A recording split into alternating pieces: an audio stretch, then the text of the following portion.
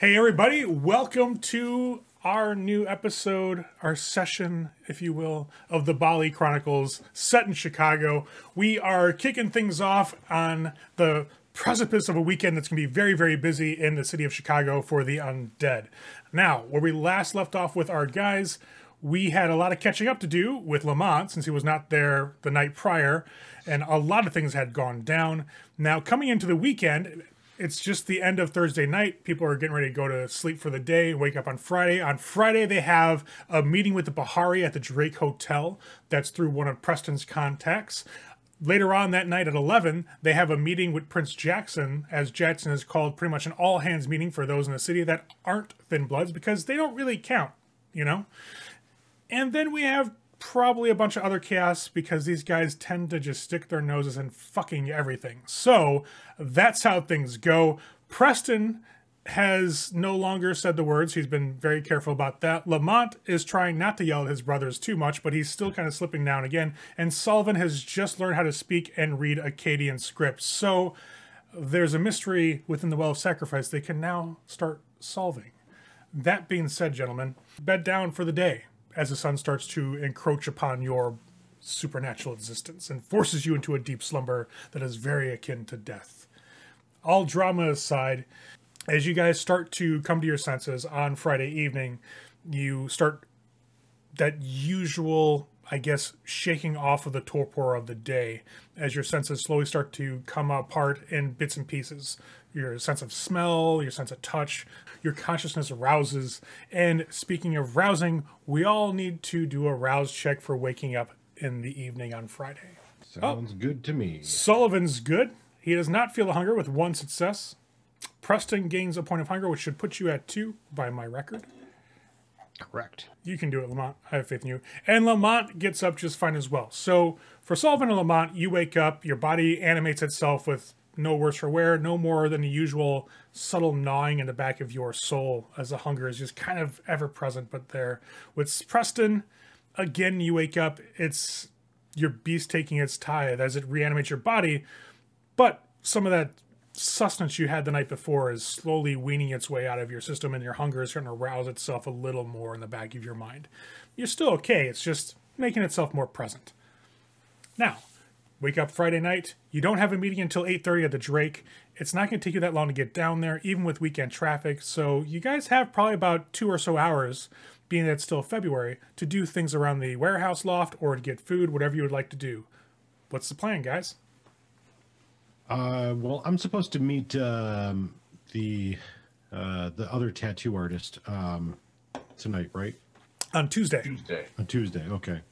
Um, yeah, I mean, I won't. I won't do anything out of the ordinary. I won't waste your time with. I'm going to do a bunch of things. Character gets up, cleans himself, waits for them to get ready. Um, okay. Pretty much per normal. This is the the Drake Hotel thing. Is the citywide thing? No, that's the Bahari. Your thing. Yes. You called your contact um, about what was going on with the garden because you made it. You found out a little more details about yeah who had got it bulldozed. Time must have messed up. I have that on my on my notes this Saturday. Oh no, that's a that's a Friday with, uh, with Trina. Yeah, I have it as a Friday, so maybe we had a little bit of miscommunication. But it is this no evening, worries. is the, the night before the prince's meeting well, the night of the prince's meeting, but before it, because she made a point of saying, "Hey, let's get out there before Jackson and everybody come to the the woods." So, sure. I would like to, if I have a couple. You said we have a couple hours. Yeah, you guys have like two or you know, eh, it's about six, so like two and a half hours or so. Uh, th- I'm assuming this is probably like a uh, like a fancy dress affair, right? Well, the one with the prince or the one with the Bahari.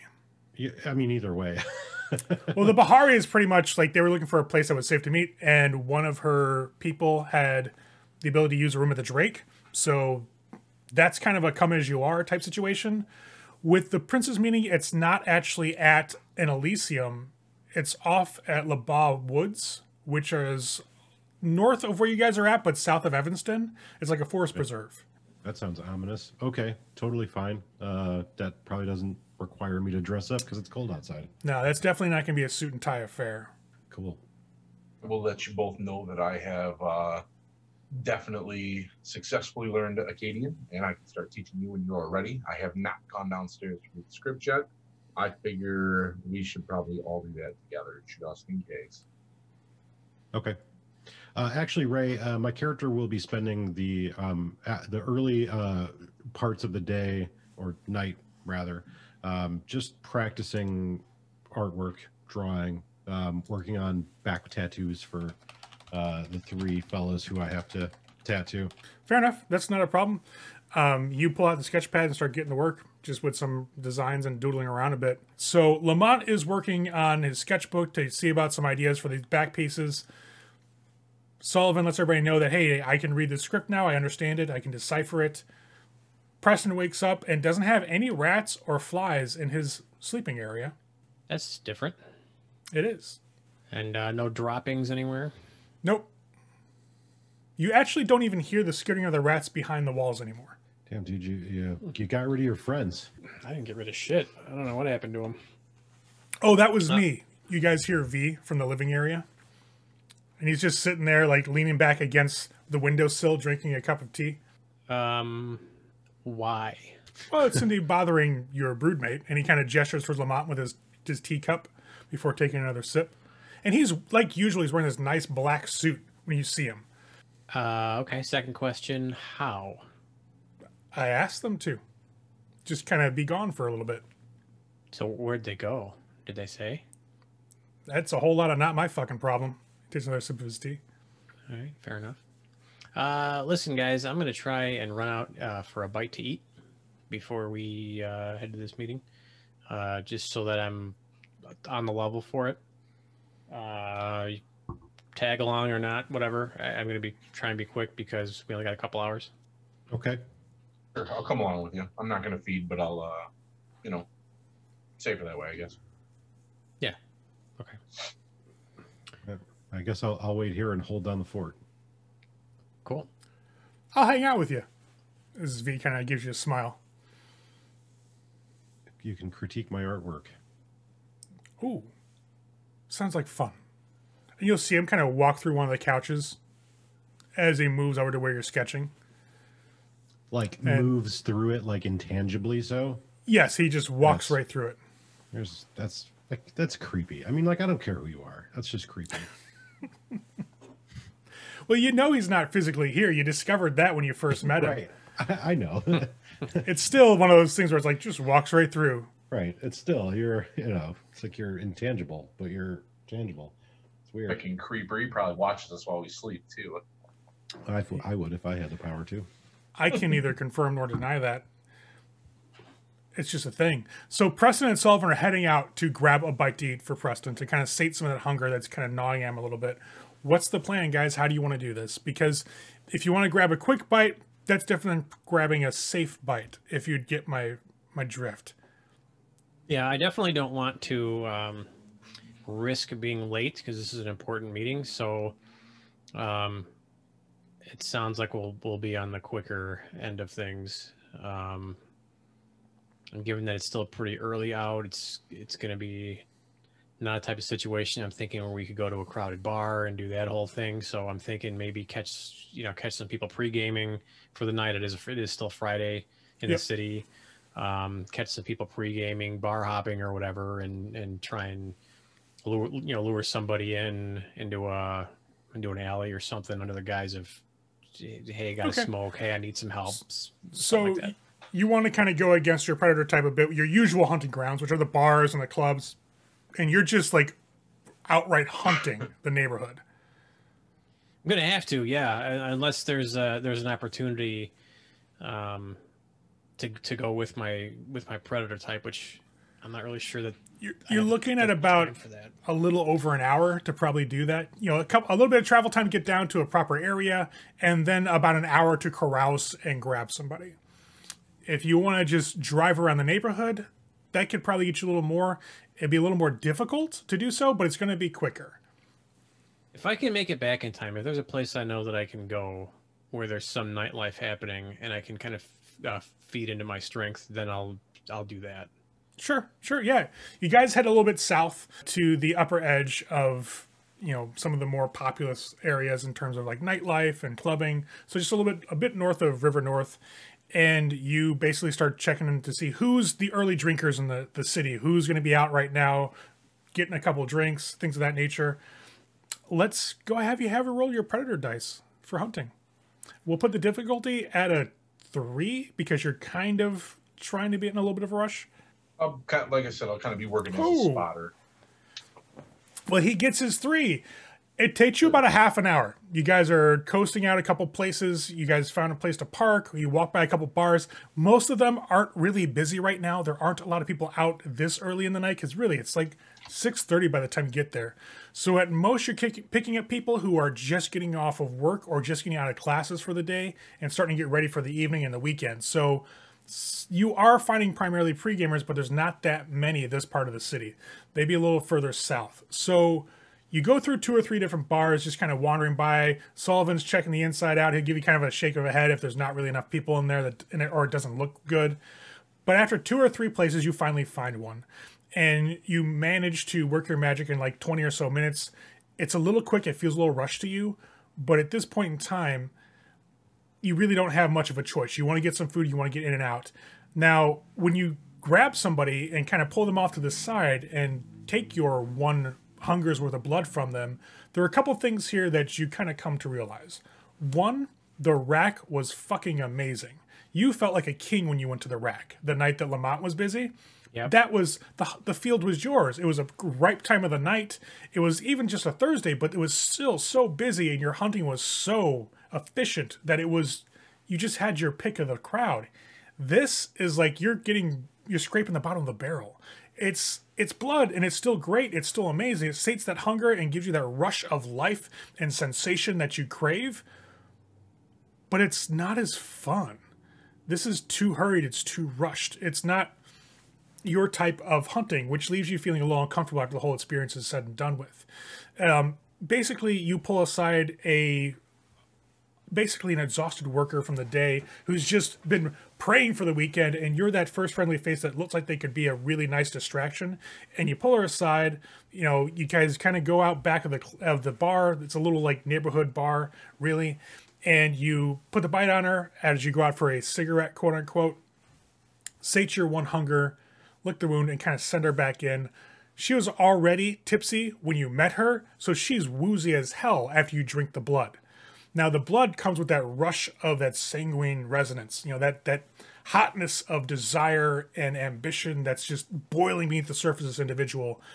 And when you walk away, she goes back into the bar, you walk down the street to meet up with Sullivan, you can feel your skin with that warm rush of the false life after drinking from this victim. But you also feel a little bit in the back of your mind that alcohol just taking effect just enough to throw your balance off a little bit that you have to occasionally double check your sureness of footing as you're walking down the snowy alleyway back towards your broodmate. Now, the whole affair to get out, to go and grab somebody, sate your one hunger, and make it back to the warehouse loft takes you roughly about an hour and 15 minutes. So by the time you get back, it's like 7.30. Nice. You guys Cool. still have an hour before you have to be down at the Drake Hotel, and you have until 11 o'clock before Prince Jackson is having his meeting in the woods. Now, while you're outside, it's still February, so it's still really cold. That wind is just biting. It's cutting through most of the clothing that you're wearing, especially since Preston tends to favor the lighter things that are more like fashionable as opposed to secure against the cold mind you, you know, you're dead, your body doesn't really feel it the same anymore, but it's just that annoyance of it being so cold and frigid. And while you've managed to kind of get by in your quick ins and out of hunting tonight without having to kind of rouse the blood to give yourself the false life, to look mortal and like, you know, a lot more of a, I guess, a long term walk or setting, you know that it's going to be a necessity if you guys go out tonight.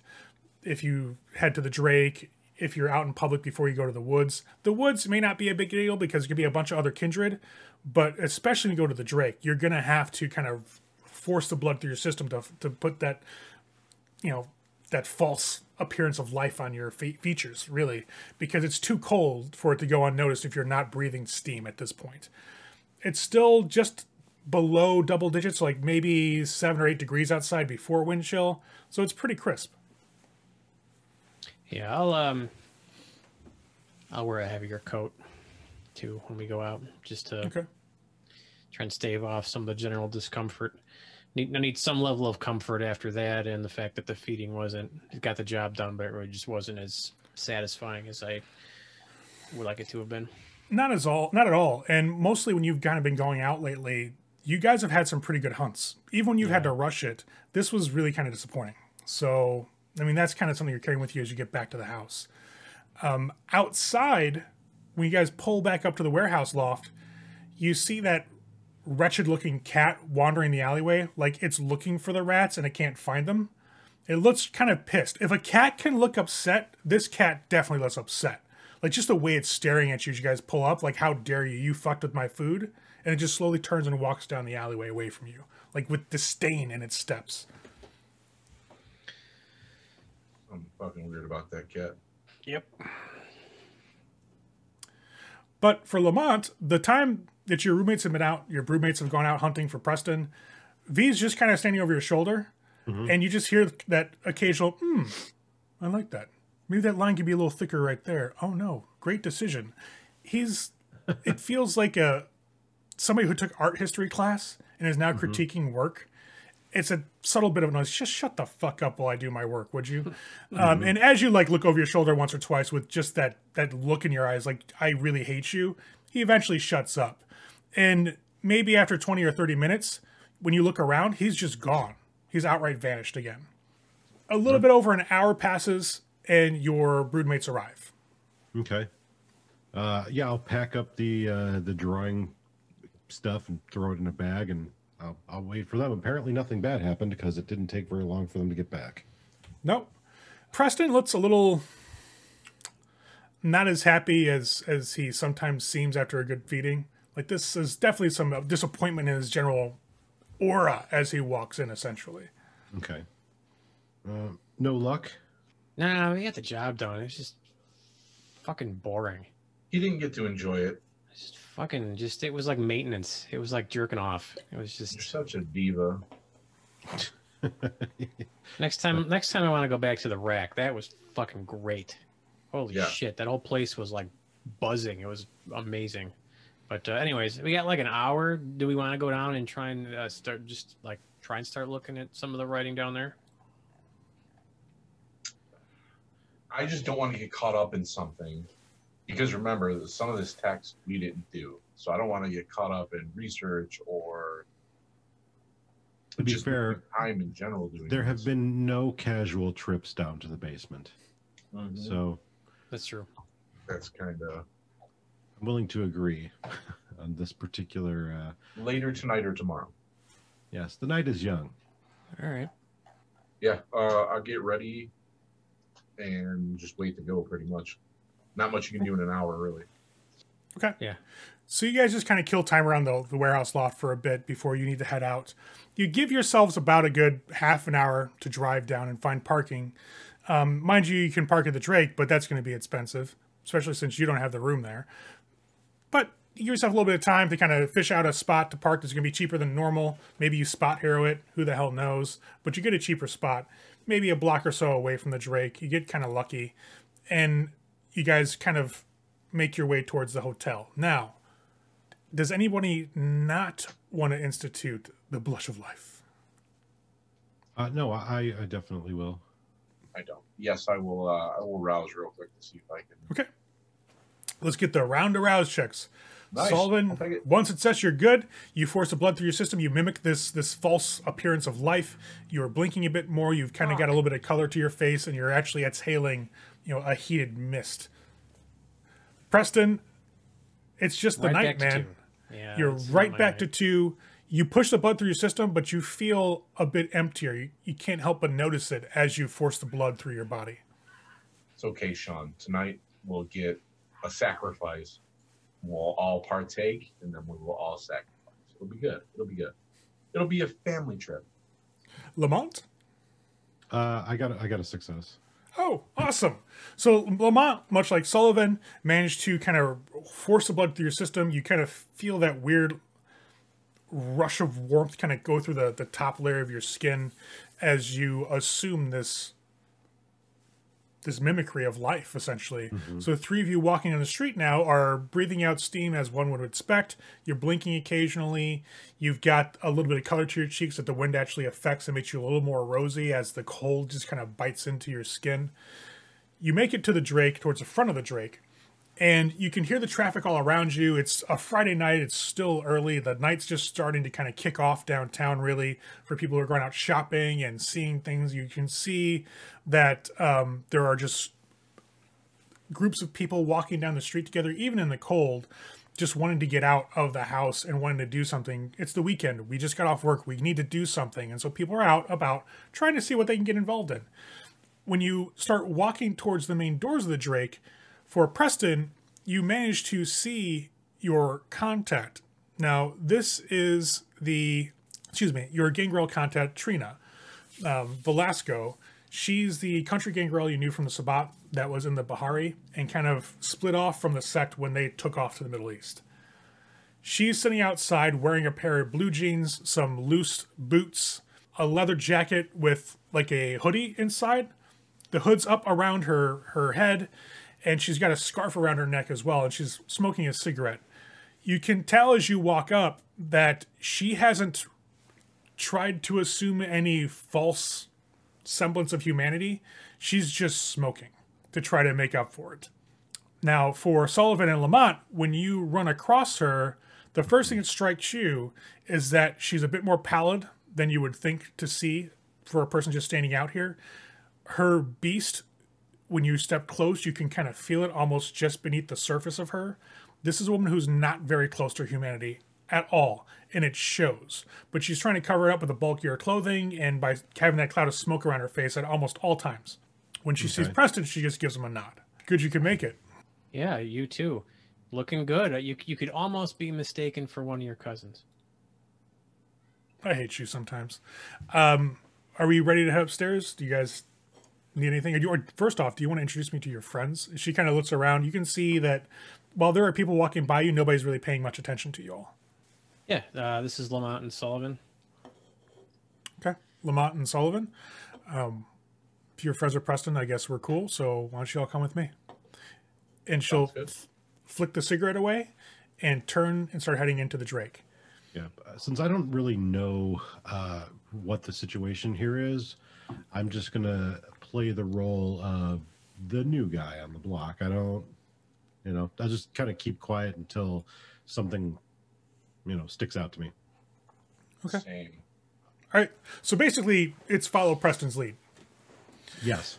So you guys walk into the the lobby of the Drake, and as Trina's footfalls are echoing on the the floor, the the stone floor essentially, you can see a couple people here and there that are walking through the lobby, either bellboys and people going to their rooms, kind of stop and look at her and give her wide berth because she's literally creeping them the fuck out.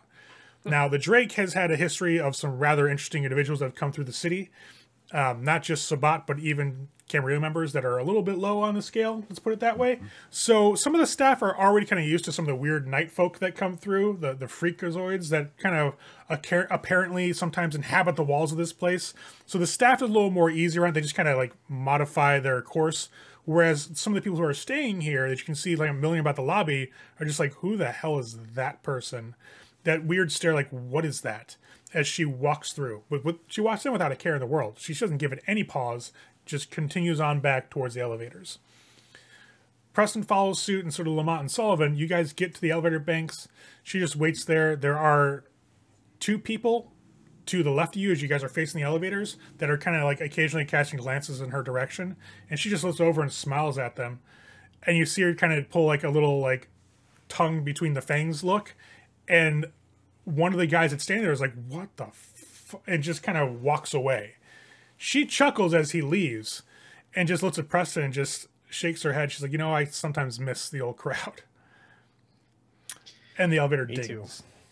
Good to know. Maybe we should um, do something about that sometime. Not necessarily. I mean, that club's kind of over and done with for me, but it could be fun to do some stuff for old time's sake. And she walks into the elevator. Yeah, probably not here, but uh, definitely some point somewhere. She'll just kind of chuckle and nod. So you all get in the elevator, and she basically takes it up to the tenth floor. The ride up is quiet. She doesn't seem to be one for small talk. Doesn't seem like anybody else really wants to discuss because you guys don't even know who who she is really, except for Preston. And once the elevator dings and opens up, she leads you down the hall very quietly again to one of the rooms, pulls out a key card, opens it up, and steps inside. It looks like it's a single bedroom. It's overlooking the front, the well, the street that the Drake is off of, so you can see the traffic out below. You see the lights from the city kind of shining through the windows as the the blinds are all opened up. The curtains are completely to the side. She just kind of walks in, puts the key card back in her pocket, gestures towards the bed or the seat. She's like, "You guys sit wherever the fuck you want." Um, you know, this is really not a, a formal affair, so just get comfortable. And she moves over to sit down on the dresser, essentially. Uh, Lamont will make his way to the window and kind of look out across, you know, the uh, the city. I'll go over and sit down on the bed. Yeah, Sullivan will just pop his squat. Okay. Um, she kind of casts her eyes over you guys, and for those who are seeing her for the first time, she's got these like really deep green eyes. Not like a bright emerald, but more like a hunter green. And it's almost unnatural the way they look because the, the rim of the iris, iris is very black against the white of a sclera of her eyes. So they stand out very prominently as she kind of sweeps her gaze over you now. And I'm obscured by the smoke from outside when she was smoking. Her eyes are very odd looking. When she kind of slides them back to Preston, she takes in a breath and lets out this tired sigh, very resigned. So we've not only lost the garden to bulldozing, but we've lost two members as well.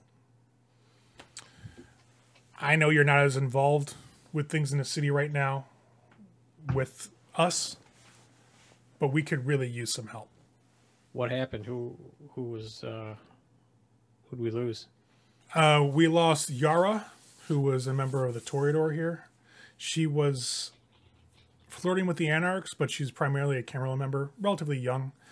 She was a, a fresh face, a new convert relatively to the scene. We brought her in, and she was very attentive, very studious to lessons. We lost Mickey, Nosferatu of ours, who was kind of giving us a heads up of what was going on in the city with everything else. He was, put it this way, he was instrumental in finding proper fertilizer for the garden. I don't think these were targeted hits, really, at least not individuals. The only thing they have in common were that they were with us. Neither one is irreplaceable. Again, you know, Yara was new and Mickey was yeah, he helped. I mean, he was very valuable, but he's didn't provide any service that nobody else could provide if you get my drift. So, I don't feel it was these people were chosen on any basis outside of the fact that they were Bahari. I mean, were they hit at the same time? Or like were they together and they and they got No. taken out? No, no, it's like a night or two between each individual. We went to their havens after they hadn't shown up for for worship, and we just found Ash. Any leads? No, not yet. I I think it might have been the Lasombra in town. They have a thing. They were Sabbat, just like you know some of us were. And well, as we know, the Sabbat don't generally like our religious practices. Maybe Lasombra came to town and felt it was free reign to get some vengeance or some whatever just retribution they feel they're owed by followers of Lilith and struck out. Could be. I mean, they seem pretty occupied with some uh, recent internal uh, struggles and with trying to join the Camarilla here. I'm not sure how much time they're penciling in to go Bahari bashing. Well, I don't really know anybody else who had it out for us in the city. I mean, Jackson, I think, knows. We don't really go out and advertise too much, but we're not ashamed of it, if that makes any sense. I mean, the Camarilla these days doesn't seem to really give two shits about any type of worship that's in their domains, as long as it doesn't infringe upon the prince's duties and responsibilities, yada, yada, yada, yada, yada. And we weren't. We were keeping to ourselves. We were tending our gardens. We were having our worship quietly and in peace for the most part. And then next thing I know, we're missing two people around the same time as the Sombra step in. So if you got other alternatives, I'm all ears to hear them. I think it might be a faction of the Lasombra, but I don't think it would be the the portion of the Lasombra who are um, trying to gain entry into the Camarilla. I mean, truth be told, violating a tradition is not a great way to get into the good graces of a Camarilla prince. And if they're just walking in and killing anyone, that's uh, um, that that does that's that doesn't seem smart. That doesn't seem like uh, a very political uh, approach to things. And I definitely don't think it was the prince because why not blood hunt them? No, no, Right, the there are prince. a bunch of different ways. I know the prince is pissed because people broke the traditions in his city. Like mm-hmm. that's a given. Like he, I've actually kind of gotten that sort of confirmation through the grapevine, so to speak. But I, I have, I have no other ideas. You know, I haven't seen anybody. I know the anarchists don't really give two shits about what we do because hashtag anarchs. I guess you know that's just how they roll. And the only independents in the city are the ministry. Yeah, we I'm don't sure even have it any. doesn't. I'm sure it doesn't because it's a fake name, but I'm gonna ask anyways, just to to make sure we're covering all bases. Does the name Jedediah Jones mean anything to you? Jedediah Jones. Yeah.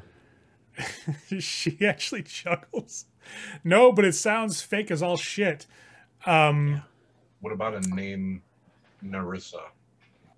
don't oh, wait, no. Uh, yeah. Uh, Blackwater. Yeah, Yeah. Yes. yeah, I heard her. She doesn't. She's. She She's- just seems like. Let's let's just say we have it, or I have it on good authority that she was attempting to mess with things of a more spiritual bent and speaking with a, a member of the Hecata. Um, so if it's she's trying to narrow down or push out other religions so she can move in, I don't know. It's it's a little bit of an out there thought, but I'm not ruling I, anything out these no, days. Blackwater. Well, cultivar. Black Blackwater and her people have actually helped us out. So we share similar viewpoints on some things. So we haven't had any sort of strife with the Blackwaters and their people. Fair enough. Do you know anything about? Um, and I just recently got a little bit of information, but do you know anything about the cult of Shalim here? No. That's the only, you know, just just out fucking around. We get cultivar stuff popping up all the time, like no problem. It's just like these black waters and cultivar shits. When this cult of Shalim is a little bit more um, in the In wind. background. yeah, they're just like. So I just I don't know if that if you'd ever heard of. No, no. I mean, what are they about? Is something we should be worried about? I don't know. That's the thing. we I got I about the name for um, a rabbi in the southwest of the city. Um, I got the name for like apparently a, a high priest uh, of the Shalim, and I guess they're feuding with the ministry. They seem was it the Shalim that we caught the street preachers, or was that something different? Because that seemed a very uh at least the draw was almost like the hedonism aspect. Yeah, I don't think we were sure. I don't think they gave us Right, because we haven't checked it out yet. I just Yeah. wasn't sure.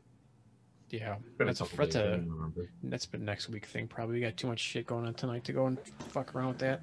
Well, I'll I'll put some feelers out for this Shalim. I mean,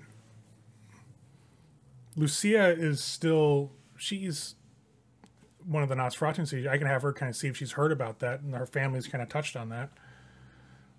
Yeah, Um, I don't yeah, I don't know anything personally. I've I've never actually heard of them, so I'll have to do some digging.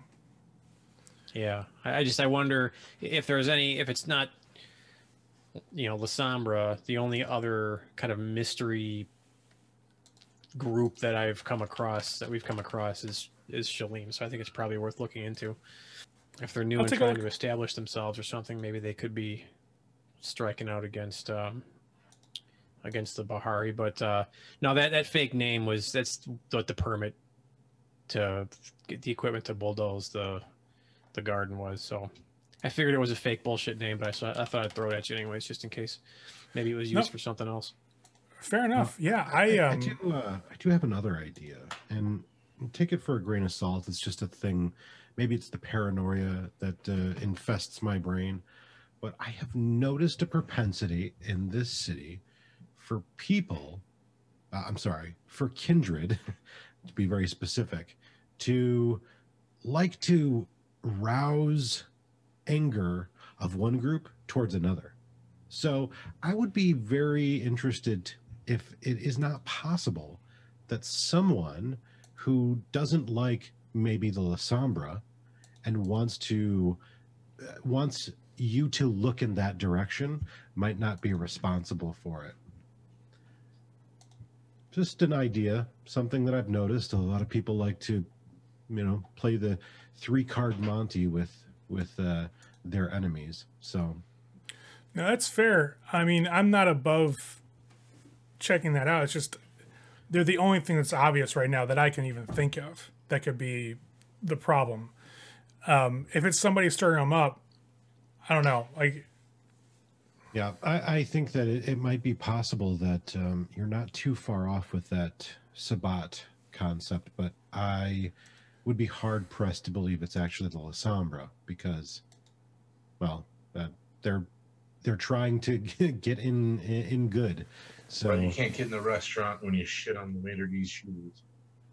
well, you you all have been a little more active currently in courts, from what I'm gathering. Do you do you even know who this like the name Jedediah? Anybody using that as like a moniker? Anybody using that as like a a calling card?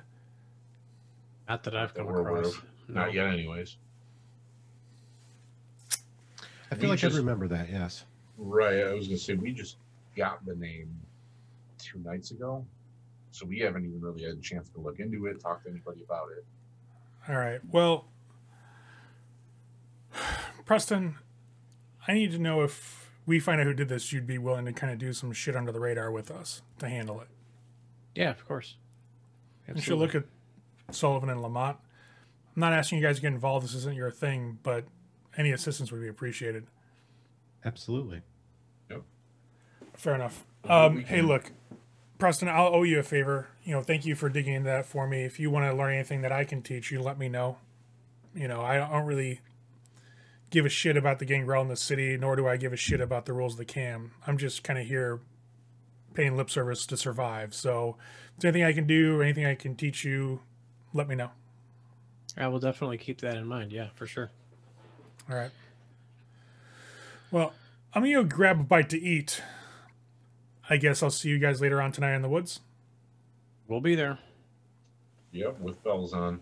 Well, not really, but you know.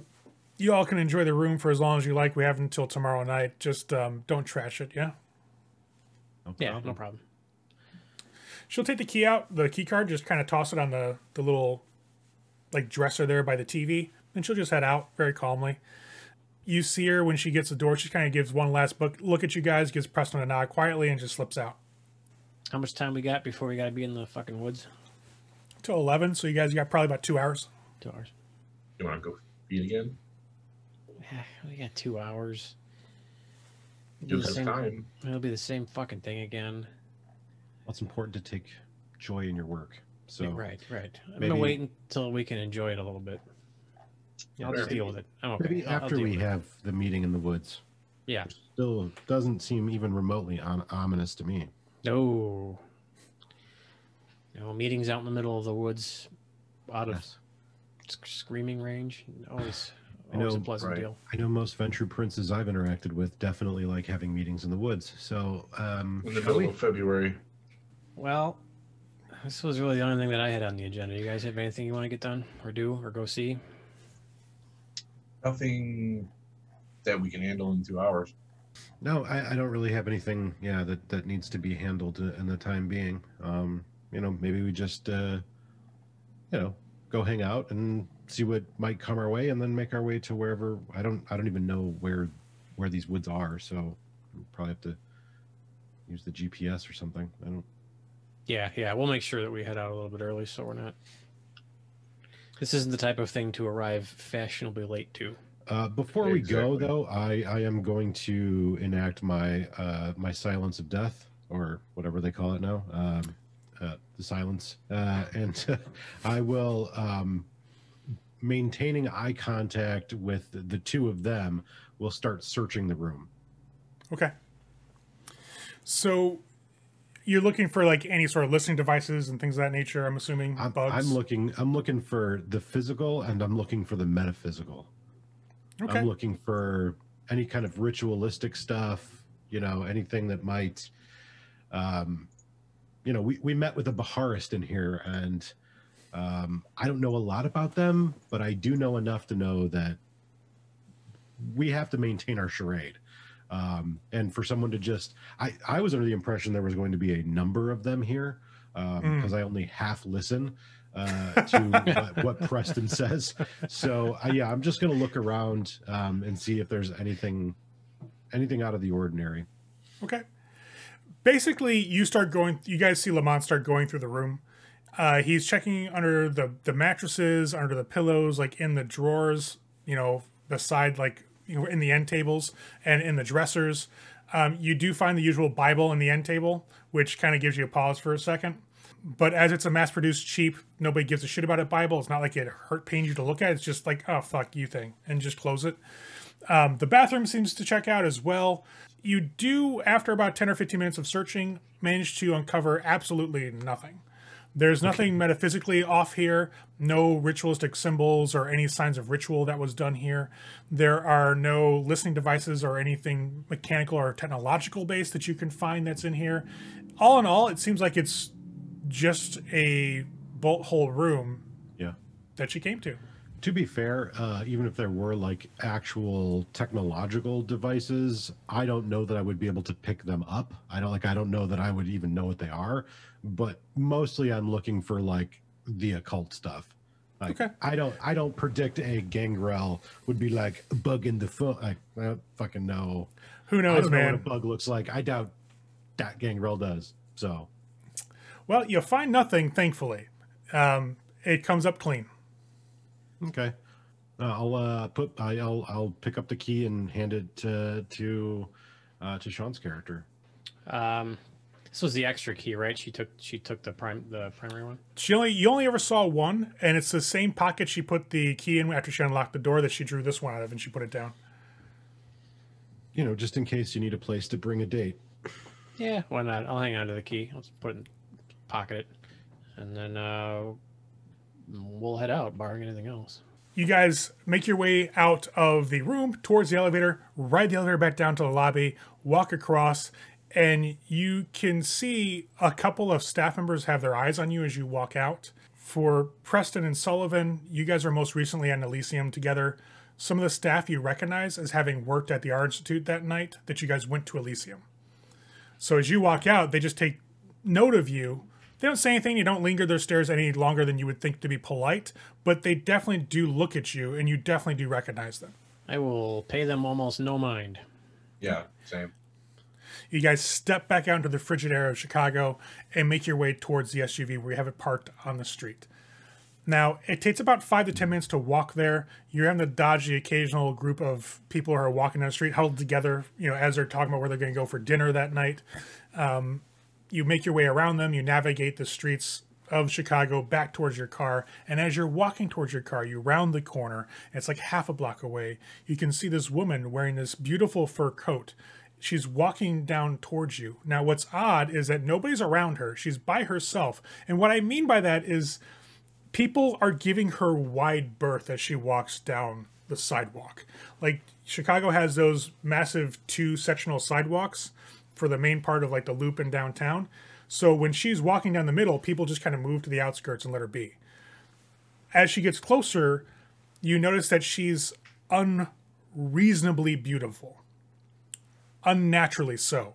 Like this is freaky how gorgeous this woman is and she's walking towards your SUV, and you see her stop and kind of do one of those lean towards the street, like people tend to do when they check a license plate number, nods to herself, and just stands by it, turning her back to the car and leaning back against the side of the SUV. And she's just waiting. Adjust myself a little bit, and uh, I'll uh, head on Does it over. look like Porsche? No, no, no, no, no. that Well, I was would have been gonna a. And then you see Porsche, and people go, ah, shit. Fair enough. Yeah, I'll just uh, keep walking up as normal. Who's driving? Well, it's Sullivan's car, so he usually does. Yeah. So me probably. So you guys walk up. Uh, when you get within probably about a good 10 or 15 feet of the vehicle, she kind of turns her head and looks towards you and gives a smile. Her face is very well done up with makeup, almost flawlessly so. She's got some great lining and great, you know, shades thrown on her features that kind of make her stand out in low street light, you know, like as you're in right now. Her lipstick is this weird shade of crimson that's just darker than like a cherry red, just a little bit darker. Her hair is black and it's pulled back over her shoulder and like a ponytail off to the side. Her fur coat is this brown fur. Uh, she's wearing this black evening gown underneath it and nothing like else. Like there's no pants, no like anything to keep her warm. She's just wearing this evening gown in this frigid conditions and she's wearing black heels. When she turns towards you, she pushes off the car and smiles. Um, this is your vehicle. Yes. And she just kind of, her gaze takes on the three of you. Yes. Uh, this is for you. And she reaches into her fur coat and pulls out a small envelope and kind of holds it out. You go Yeah, ahead and take take it. It's like this um, old paper envelope. Like it's got that stained type of color to it, you know, that yellowish, you know, tannish, like tea color. And it's got this wax seal that sealed the back of the envelope.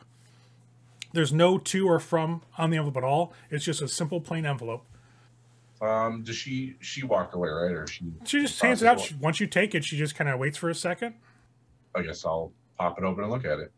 I will. uh Lamont will um, plop his chin um, on Sullivan's shoulder and glance over his shoulder to see. Like, I never get letters. I wonder what it is. right. So the letter, as you open it up, is written on like an old like parchment, and it's written in this beautiful like somebody took a lot of time to write this. It's written in beautiful handwritten like calligraphy script, the black pen, and it says you are cordially invited to meet with Mister Walden at the following address, and it gives you an address just a little bit north of River North. It says the the issues of the utmost importance. Please see to it this evening.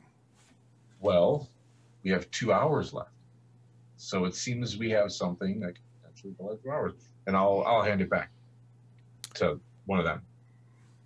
She'll kind of she once you hand the, the letter off to uh, one of your broodmates, she just kind of nods. She goes, "I just wanted to make sure that it was received," and Mr. Walden looks forward to meeting you. And she turns on her heel and starts walking gracefully back up the way she had come. Now, she appeared to give off all signs of being human, aside from that eerie beauty. You guys know who the fuck Mr. Walden is? That's No idea. that is an interesting question. I was I assumed you guys would know, but but it's of the utmost importance. Also, But his delivery lady, delivery lady is fine. I I feel like that's an insult to call her a delivery lady, but I agree with you. Like unnaturally, like almost, Yeah. almost uncomfortably. So Yeah, you basically called her a door dasher. Maybe she does Uber Eats in her spare time. I don't fucking know. Maybe we. Uh, anyways, I think she the prefers car. the term courier of the night. Let's go talk to I Mr. like it. Walden. Yeah, let's go Cool, we got that. two hours to kill. Let's Yeah, maybe it. she maybe she needs a ride. Do you need a ride? Like you call out, she just stops and looks over her shoulder Unbelievable. and just stares back at you. And, no, thank you. All right. Figured Oh, I'd gosh. ask. She probably doesn't want to get in the van with three dudes. No. it's not a panel van. She'll. Ladies and gentlemen, welcome to my life. So, you guys get into the SUV. She walks up the street, and you guys start the car up, pull off into traffic, and start heading towards this address. This address takes you again into the more residential side, a little bit north of River North, and you start driving by these brick houses. And the address that you drive by, that's on hmm. this this letter, is this large three-story brick Victorian-style home with a black wrought iron fence around it, much like its compatriots to either side of it.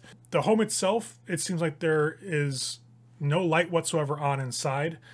There are curtains that are drawn across the windows on the second floor. The third floor is like a small circular window, like an attic area. You can't even see into that. But the bay windows for the main floor that you would walk up to, like up these steps, doesn't have any like blinds or curtains. It's just completely dark inside.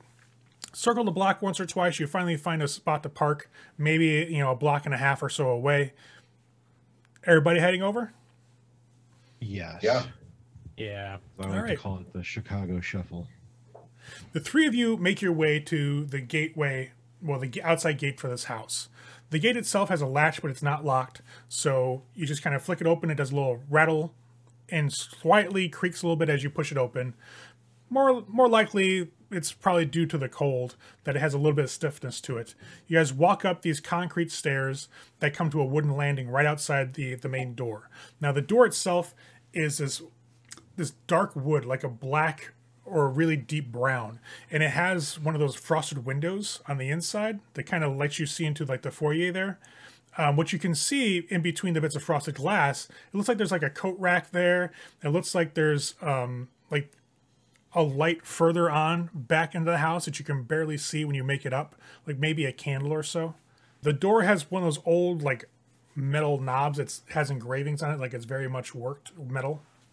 Well, um, I guess we probably shouldn't stand on ceremony. Uh, I'll I'll knock on the door. You knock on the door, and everything's silent for a few moments. It takes maybe about a minute or so, and you start hearing among the din of the cars going by in the distant streets here and there, and maybe a bit of scattered conversation from people walking down the sidewalk across the street from the house you're at. You hear this click clack, click clack of somebody walking in heels across like a hardwood floor. And as they start coming that direction, you see the light go on. You can see the light start to emanate from the, the bay windows that's just to your left. And when the light goes on, just kind of catching a glance through the window, there's no furniture in this this house. There's maybe three like wood chairs, but that's about it. There's nothing on the walls, no couches, no TV, nothing big. And as this person gets to the foyer, the light turns on there, and you can see this woman, probably about I'd say five seven, five eight, with this dark hair, open the door, and when you, she opens it, it's the exact same appearance of the woman you just saw that gave you the letter not 15 minutes ago. She's wearing a red dress, however. Uh, we're Nice here. to see you again. We haven't met, but um, I'm sure you mean. I know who you mean. Please, Mr. Walden's waiting. Your twin? Are you a twin? Something like that. She'll step back from the door as she opens it. You hear it kind of creak on its hinges. She just kind of does a sweeping gesture with her free hand towards the living room just beyond. I guess I'll step in. Uh, I will proceed forward because I'm really interested who this Mr. Walden is. Yeah. In we go. So you guys all walk in. She closes the door after you. The floor in this house is all hardwood. So whenever you step, you're kind of leaving a little bit because there are no like mats. You're leaving a little bit of snow on the ground. It's kind of sloshing around as you're stepping across the hardwood. When she leads you into the living room, there are three wooden chairs in a semicircle facing back towards the kitchen. As she steps in be- behind you guys, you hear her click clack of her heels against the wood as she kind of veers off and goes further into the house. She disappears into another room, comes back with a large, like high backed chair with like a, a red velvet cushioning, and she's holding it with with her hands on either side of it, but she's lifting up like effortlessly. And she goes and places it in front of you guys, well, in front of the, the semicircle of chairs, probably about a good six feet away, conversational distance. Uh, she gives it a pat, makes sure it's steady, gestures to the chairs, like, please, uh, gentlemen, have a seat. Um, I'll go fetch him. I'll sit. I'll take a seat. As you all sit down, she turns on her heel and starts ascending the stairs you can hear just off to the side. If she vanishes through another door, another side hall. A few moments later, you hear a more heavy footstep descending these wooden stairs. This gentleman comes into view. He's wearing a very nice business suit. It's pinstriped, like a, a little off dark gray with just a little bit off colored stripes on it. Uh, he's got a white you know dress shirt with a tie. He's wearing a very nice watch that you see as he kind of moves and adjusts his his suit jacket. It's a gold watch band, maybe a Rolex or something else, something alternatively as expensive. It's just really really nice on his wrist. He's very very pale of features. You can also, much like when you guys ran into Trina, can feel this man is very far from his humanity. He's not humane at all. He's got a little bit of uh, sunken in features. His eyes give a little bit of a feral glint as he looks around at either of you. And he kind of steps up. Older man, probably I'd say mid 50s at best. Caucasian gentleman. Seems to have like an English bearing, the way he holds himself and the way his jaw is cut. When he sits down in the cushioned chair, he gives you all a very generous smile. And it's a smile that's almost too generous because it nearly goes from ear to ear, almost abnormally long. I'm glad you three could make it. I'm Mr. Edward Walden. I don't Nice know. Mr. Walden. I'm I hope- Sullivan. Good, good, good. Introductions are very important. Mr. Sullivan, welcome to this temporary abode of mine, mostly just for the evening, but I bid you welcome nonetheless. Are any of you hungry? Oh, I'm good. Thank you, though. Uh, yes, actually, I am. Ah, Gina. And she he kind of looks back at the woman, gestures towards you, and she walks over to you, gets down on one knee, and bares her neck. Uh, I will feed from her. when you drink, you feel that subtle submission that you often feel when you give somebody the kiss as you start sinking your fangs into their flesh. That euphoria that kind of floods your victim and paralyzes them to your will. When she gives into this, there's something beneath it. Like you can feel her body grow a little bit slack and relaxed, but she steadies herself beyond that. It's like she's used to this sort of situation and she's met some sort of peace with it. So as you slake your one hunger, he waits very calmly. You see that he doesn't look at Preston as he's feeding. He's actually eyeballing both Lamont and Sullivan because that would be rude to eye somebody while they're eating. so he's looking at the two of you. He folds one leg up, you know, to put his ankle across one knee. And once Preston's sated and licks the wound, you'll see that Gina, as he has called her, stands back up, gives him a nod. I hope that was to your satisfaction. You hear from Walden. Very good. Yes, thank you. I appreciate the hospitality. Of course, Gina, you are dismissed. And can you please do? I'm, not very happy with the way you and your sister gallivant around looking like you do. And you see her smile and look back at him, like, "But sir, you you made us this way. No, I made you other ways. You just simply like this particular mask. Please do something about it." You hear her sigh, and she nods, and she reaches up to the the peak of her brow. She grabs that in a tight fist and pulls it back, and you hear this subtle, like, soft, wet rip as she pulls it away, her face falls forward, and it's this bony mask of a skeleton. As the the features that you saw that were so beautiful fall forward, and when it falls flat, you can see the inside of the skin, and there's a bunch of different pads of different fat, fatty tissue and muscle that were made to make her look incredibly beautiful. And as that face splits away, you see Walden smile and go, That's much better. This is how I made you, more appropriate to be one of my servants. Now, go play. She smiles and nods, and you hear her click clack and click clack walk away.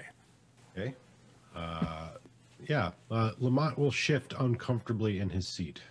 oh, Sullivan, and I'll uh, he'll he'll cross his hands and just set them in his lap to be non-threatening. All right, so that will conclude this episode as they sit down and talk with Mr. Walden.